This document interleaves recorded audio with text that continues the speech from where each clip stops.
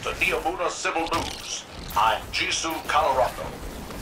The Cabal are an expansionist alien empire who recently descended into civil war following the destruction of their homeworld, Torobatl. A traditionalist faction under Empress Caiatl have formed an alliance with Earth's military government. The Shadow Legion, invading our city, consider themselves a loyalist faction and follow the Empress's deposed father, Calus. This is Jisoo Calorondo, signing off.